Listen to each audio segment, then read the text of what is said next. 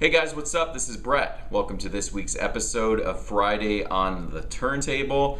Huge thank you to all my subscribers and uh, everyone that caught my last video that I did with my friend Jesse, where we ranked the entire Depeche Mode catalog. Had a blast doing that one and really enjoyed all of the comments and lists you guys sent back of your favorite albums. So, huge thank you guys. So today I am talking about Iggy Pop's 1977 classic, The Idiot. One of my favorite albums of all time, right here. And um, I've been really anxious to talk about this album. It's been on the queue for a long time, and uh, I had just secured a copy of this on, on vinyl from VC member Michael Mayer. So thank you, Michael, for. Uh, finding a copy of this for me. Just got it for a couple dollars, so was very happy, and uh, thus here comes the video. So 1977, the year of release of this album. So let's talk about five other albums that came out from that year. There, these ones are all connected to the Idiot in some way. Never mind the Bollocks. Here come. Here, never mind the Bollocks. Here's the Sex Pistols. 1977 punk rock. Uh, hugely influenced by what Iggy Pop did in the uh, late 60s, early 70s with the Stooges. Uh, Kraftwerk's Trans-Europe Express, German electronic pioneers. Um, this had an influence on the sound, or this band had an influence on the sound of The Idiot, as we will discuss here pretty soon. And here's a couple other ones. David Bowie's Low, 1977. I'm showing you my CD because those of you that follow me on Facebook, You'll notice that uh, in the background of all of my posts, uh, you'll see the cover of Low frame, so I did not want to dismantle that frame to show it. So David Bowie's Low. Another one from Iggy Pop, actually, Lust for Life, 1977. And another one from David Bowie, Heroes, also 1977. So it just goes to show that David Bowie and Iggy Pop released several albums in 1977. And uh, it's known that that time period was Bowie's Berlin era and Berlin trilogy. But what a lot of people don't realize is there were more than just three albums from David Bowie in the 1977 to 79 period, besides Low Heroes and Lodger. There is Iggy Pop's The Idiot and Lust for Life, which Bowie had a heavy hand in the creation of, co wrote um, mostly all, if not all, of the songs and uh, produced them as well. So when you think of the, how prolific that time period was, it's just pretty mesmerizing and the quality of work that came out. So The Idiot released in, uh, it was March 18th, 1977. Iggy Pop's first album since kind of the dissolution of the uh, the Stooges in 1973, so the world really hadn't heard anything from him uh, from Raw Power from 73, which Bowie was brought in to mix that album. And when you think about the sound, if you're familiar with The Idiot, and you think about the sound of the Stooges' Raw Power, it is a complete 180 degree turnaround. The influences of German music like the krautrock sound of bands like Neu! and Kraftwerk mixed with this kind of icy Euro funk and that just comes together in this just really cool juxtaposition that's on the idiot and then it's explored even further on Bowie's Low and Heroes. So they're all all intertwined. So around this time period of the recording of the album, Bowie and Iggy Pop were both kind of deep, I guess you could say deep within some uh, addiction and to escape what uh, the media attention of Bowie's career and his problems, uh, you know, living in LA, and um, so him he took Iggy and they uh, headed off to Europe to escape from that, and uh, like I said earlier, became just such a, a, a time period of prolific songwriting.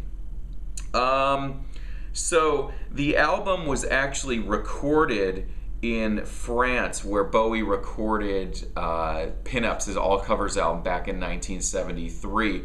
And then uh, some additional overdub work was done in at Giorgio Moroder, uh, his studio in Munich. And then the final mix was done at the Hansa by the Wall studios in Berlin, where uh, the album then and the successive albums get their name, you know, as being part of the Berlin era.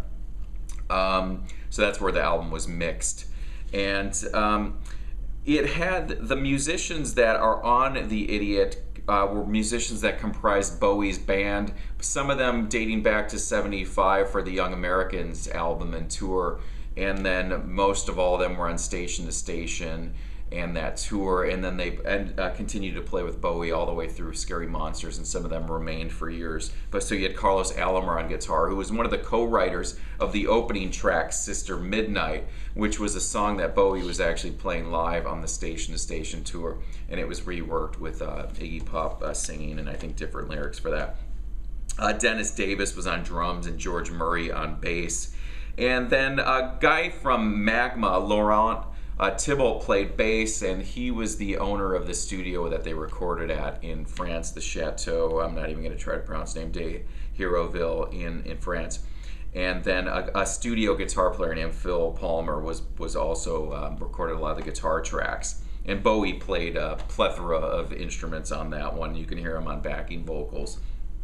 Um, so let's see here. There really wasn't any true uh, singles from this album. There was a U.S. promo uh, seven inch for I think it was what was it, Sister Midnight, and it was had a really limited release in a couple markets. I think Australia and uh, somewhere in Europe, and then China Girl had just a limited UK and Spain single. But um, but the album is so widely covered by various artists.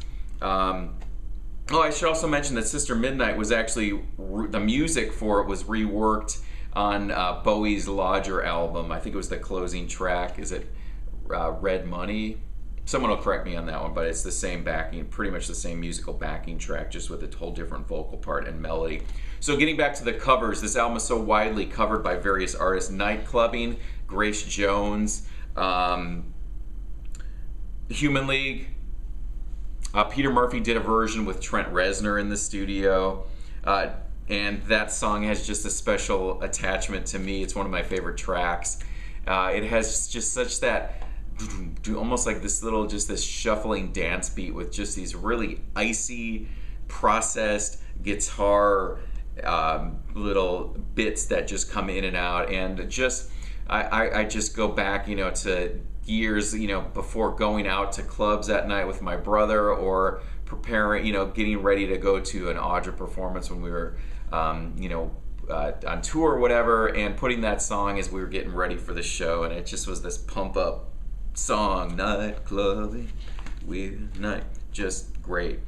Uh, Fun Time from this album was recorded. It was released. Uh, Peter Murphy did a cover it on Love Hysteria. Uh, Boy George, REM did versions of it. China Girl that uh, Bowie actually did his own uh, cover version of his own song with um, and released it on the Let's Dance album in 1983, and it's a much more slick, polished version uh, compared to the uh, more raucous version by uh, uh, on the on the Idiot. But the band James did a great version of that one as a B side, and one of the great moments on the album, probably my favorite moment, is during China Girl. The dynamics of the vocals. There's a part where uh, Iggy's vocals get so loud um, that he actually clips the mic, and clipping is like a studio term for when you just over overwhelm the microphone where it just has a, a distort it distorts, and he does that. It's in the way, and it's just it gets just so loud, and it's just so killer, and it's my favorite moment on on the album. But as I said earlier, it's it's I think this album is just perfection. It had a huge influence on uh, the band Joy Division. You can really hear it on Unknown Pleasures and Closer. Closer, their two studio albums, and you know I hate to bring this up, just but it's just a known um, a known element that this was the last album that was uh, Ian Curtis had listened to before he took his own life. It's it's been documented, and it was in the the um, the a biopic that came out uh, closer on um, on Ian Curtis's life. So just kind of a sad thing. I always, whenever I think of this album, I, that always pops into my head. Um, so a couple other things I wanted to show you guys. There is an excellent book on this time period of Bowie and Iggy Pop's career, and it was put out by uh, Jawbone Press and I did a review on it on my blog a couple years back uh, after I contacted the uh, publisher Jawbone, and they sent me a copy to review, and uh, it's just great. It is uh, Bowie in Berlin, A New Career in a New Town by Thomas Jerome Seabrook. I'll have a link down in the description box where you can check this out and purchase through uh, through that link because for any Bowie fans or Iggy Pop, this is essential reading because you know it's not a whole career overview; it's a microcosm of like his life and his you know his career from 76 to 79 you know it kind of touches on some prelude up to it and after it but man it's just so documents this time period. And there's a great let me see if i can quickly quickly find it here because it was just one of the best photos that i've ever seen of uh, bowie and it's him in uh, they're in copenhagen him and iggy pop and they're waiting at the train station incognito there, and I just love that photo. But it's it's a, a great book tracing that time period, talking about the recording sessions and the tours, and uh, just highly recommended. Link in the description box.